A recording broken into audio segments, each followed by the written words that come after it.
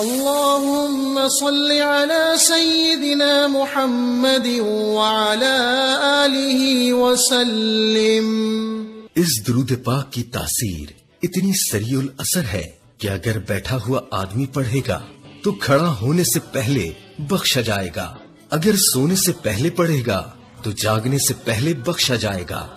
ये दुरूद शरीफ दलाइल खैरात में लिखा हुआ है